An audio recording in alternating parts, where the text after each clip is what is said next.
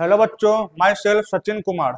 I am the faculty of physics आज हम पढ़ेंगे फिजिक्स का दूसरा लेक्चर जैसा कि मैंने आपको पिछले लेक्चर में लाइट चैप्टर का इंट्रोडक्शन दिया था. लाइट है क्या? समझाया था चार पाँच पॉइंट लाइट के स्पीड के बारे में मैंने डिस्कस किया था. कितना टाइम लगता है लाइट को अर्थ पे आने पे?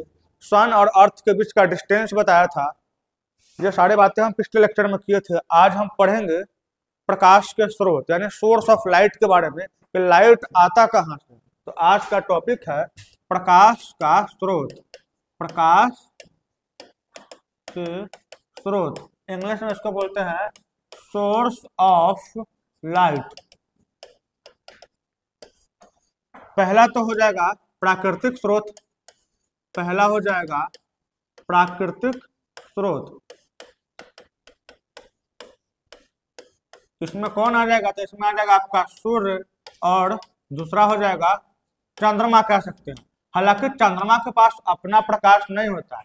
यह सूरज के प्रकाश के कारण ही चमकता है। इसको आप और अच्छे से ज्योग्राफी के लेक्चर में पढ़ेंगे। लेकिन जनरली सूरज से हमें रोशनी मिलता है और चंद्रमा से हमें रोशनी मिलता है। यह प्राकृतिक रोशनी है। सूरज को ना तो आपने बनाया है, ना तो हमने बनाया है। यह प्राकृतिक है, यानी यह गॉड गिफ्टेड है। यानी कि इसे इसका निर्माण खुद से हुआ है। यानी सूरज से मिलने वाला रोशनी कैसा है? प्राकृतिक है। चंद्रमा से मिलने वाला जो रोशनी है कैसा है? प्राकृतिक है। एक और होता है जिसको हम लोग बोलते हैं कृत्रिम स्रोत। कृत्रिम वर्ड जहाँ पे आए, आपको समझ लेना है कि यह मैनमेड होगा, यानी कि आर्टिफिशियल होगा। आर्टिफिशियल कह सकते हैं, या फिर आप इसको मैनमेड भी कह सकते हैं। मैन मेड यानी सोर्स ऑफ़ लाइट एक प्रकार है जिसको ह्यूमन बींग्स के द्वारा बनाया गया है, मानव के द्वारा बनाया गया जैसे कि लैंप कह सकते हैं आप लैंप कह सकते हैं, लालटेन कह सकते हैं। गाँव में देखने को मिलता है लालटेन, शहर वाले कम समझते हैं इसको। मोमबत्ती समझ सकते हैं आप लोग। कैंडल कहते हैं इसको इंग्लिश में, कैंडल। और बहुत सारे ऐसे स्रोत हैं जिससे लाइट मिलता है, यानी कि इसको कृत्रिम स्रोत बोलते हैं। प्रकाश के दो स्रोत, एक प्राकृतिक स्रोत और एक कृत्रिम स्रोत। इस तो ज़्यादा बड़ा टॉपिक ये है नहीं, सबको समझ में आ रहा होगा। चलिए, कोई नहीं, आगे हम लोग पढ़ते हैं। अब है प्रकाश के माध्यम, यानी प्रकाश तो कौन कौन से माध्यम हो सकते हैं? ठीक है किस किस माध्यम में जा सकता है प्रकाश? ठीक है तो पहला है पारदर्शी। ठीक है, आप लोग पढ़े भी होंगे पहले। पारदर्शी पदार्थ। ठीक है, यानी वैसा पदार्थ जिससे लाइट पूरी तरीके से आर पार हो जाए। वैसा पदार्थ जिससे प्रकाश पूरी तरीके से और आप टॉर्च को ऑन किए तो लाइट जो है पूरा पूरी क्या हो जाए? आर पार हो जाए। उससे हम लोग कहेंगे क्या कहेंगे? पारदर्शी पदार्थ। कौन कौन इसका एग्ज़ाम्पल होगा? तो बहुत सारा इसका एग्ज़ाम्पल है। ठीक है? जैसे आप किसी व्हाइट पेपर को लीजिए। ठीक है? जिसको पूरा आर पार लगभग दिख रहा है, उसके आप और लाइट को ऑन कीजिएगा तो लाइट जो है पूरा पूरी आर पार हो जाएगा। और बहुत सारे एग्ज़ाम्पल है पारदर्शी पदार्थ का।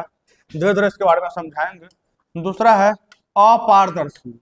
नाम से ही पता चल रहा है कि किसी भी चीज़ का अ लग गया इसका मीनिंग क्या है? नहीं। जैसे मान लीजिए लकड़ी।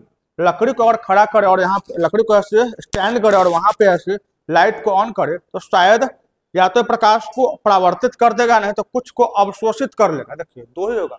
दो ही रीजन हो सकता है, या फिर तीन। या तो प्रकाश का परावर्तन होगा, या तो अपवर्तन होगा, नहीं तो अवशोषण होगा। जैसे मान लीजिए कि आप मिरर के ऊपर लाइट को ऑन किए तो क्या होगा? मिरर के बाहर प्रकाश नहीं जाएगा, टकरा के लौट जाएगा। सबने ये वाला एग्ज़ाम्पल ज़रूर किया है। वो, या तो थाली से, नहीं तो मिरर से क्या करते हैं हम लोग? एक, एक दूसरे के चेहरे पे शीशे को चमकाते हैं। वो वाला प्रोसेस सबने किया उसमें हुआ क्या? कि जैसे ही लाइट आया और एक और लाइट कहीं से आया और कन्वर्ज किया और वो जहाँ पे गया वो वहाँ पे छाया बनाया। जैसे आप किसी को चिढ़ाने के लिए या फिर किसी को मज़ाक से आप वो ये वही वाला मतलब कि पोर्सन सबने किया है। ठीक है? अब आते हैं टॉपिक पे। अब जैसे एक ऐसे मान लीजिए आप कपड़ा सुखा रहे हैं। ठीक है? धूप में आपने अपना धो के कपड़ा डाल दिया। अब उसमें क्या होता है? कि लाइट आने के बाद कुछ लाइट तो है कि टकरा के लौट जाता है और कुछ लाइट जो है वो अवशोषित हो जाता है। अवशोषित होता है तभी तो गीला कपड़ा सूख रहा है। यानी प्रकाश का या तो परावर्तन होगा, नहीं तो अपवर्तन होगा। अपवर्तन में हम आगे पढ़ेंगे।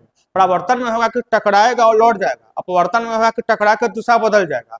और अवशोषण में क्या होगा कि जैसे कि अगर सौ परसेंट लाइट आ रहा है तो 20 परसेंट या फिर 30 परसेंट अवशोषित हो जाएगा। तो लकड़ी में क्या है कि लाइट अगर आया तो आर पार वो नहीं होने देगा। इसलिए वैसा पदार्थ जो अपने से होकर प्रकाश को बाहर नहीं जाने देता है, उसे अपारदर्शी पदार्थ कहते हैं। ठीक है? अपारदर्शी में लकड़ी हो जाएगा, लोहा हो जाएगा, एल्यूमिनियम हो जाएगा, फ़ैन हो जाएगा, घर हो जाएगा। जैसे घर, आपका घर है, ठीक है? आप उसमें वेंटिलेटर बनाए हैं, खिड़की बनाए हैं, लेकिन आपका एक ऐसा दीवार है जहाँ पे कहीं कोई छेद नहीं है, छिद्र नहीं है, या फिर कोई आउटसाइड जगह नहीं है तो उसमें जो लाइट आएगा, वो आपके घर के अंदर नहीं आएगा। हाँ गर्मी में, गर्मी का एहसास क्यों हुआ था? क्योंकि आपका जो दीवार है, वो लाइट को क्या किया? अवशोषित कर चुका है। अब जैसे दिन में मान लीजिए कि टेम्परेचर चला गया चालीस, पैंतीस, पैंतालीस तो और रात को ठंडा हो गया, फिर भी आपका रूम गर्म। है कारण क्या है? तो जैसा कि मैंने पहले आपको समझाया कि लाइट तीन काम करेगा, या तो परावर्तन कर देगा, या तो अपवर्तन कर देगा, और नहीं तो अवशोषण करेगा। तो हुआ यही कि जो लाइट दिन में आपके घर पे आया, कुछ को तो परावर्तित कर दिया, और कुछ को क्या किया? अवशोषित कर लिया। वही आपको रात में गर्मी का एहसास होता है। कारण क्योंकि ईंट में क्या हुआ? गर्मी, लाइट क्या है? अवशोषित है। ठीक है? तो एक हो गया पारदर्शी पदार्थ, एक हो गया अपारदर्शी पदार्थ। तीसरा है पारभाषी। पारभाषी किसको कहेंगे? नाम से ही पता चल रहा है। पारभाषी मतलब जिससे कुछ कुछ मात्रा में लाइट बाहर जाए कुछ कुछ मात्रा में आप देख सकते हैं। ठीक है? जैसे मान लो कि एक कागज़ है। ठीक है? जिसको तिल में ऐसे भिंगा दीजिए और तब उसको देखिए थोड़ा थोड़ा धुंधला दिखाई देगा आपको। ठीक है? या फिर कोई ऐसा पॉलिथीन लीजिए जिस मार्केट में मिल जाता है जिसमें आप सब्ज़ी खरीद के लाते हैं, कपड़ा खरीद के, उससे अगर आप देखेंगे तो आपको पूरा पूरी आर पार दिखेगा ज़रूर आपको कि सामने कौन है, नहीं है, लेकिन स्पष्ट रूप से नहीं दिखेगा। यानी एक हो गया पारदर्शी पदार्थ, एक हो गया अपारदर्शी पदार्थ और एक हो गया हंड्रेड परसेंट प्योरिटी नहीं देखा कुछ परसेंट कमी ज़रूर होगा। उसी को हम लोग कहते हैं पारभाषी। हल्का सा धुंधला जैसे आप किसी पोस्टर को देखेंगे तो पोस्टर के आर पार देखेंगे तो दिखे कि सामने में दो लोग खड़े हैं, लेकिन दो लोग एग्जैक्ट नहीं बता सकते कि उनका फेस पे क्या है, नहीं है, कहाँ पे क्रॉस लगा है, क्या है, वो आप एग्जैक्ट नहीं बता सकते हैं। तो उसको हम लोग पढ़ते हैं पारभाषी में।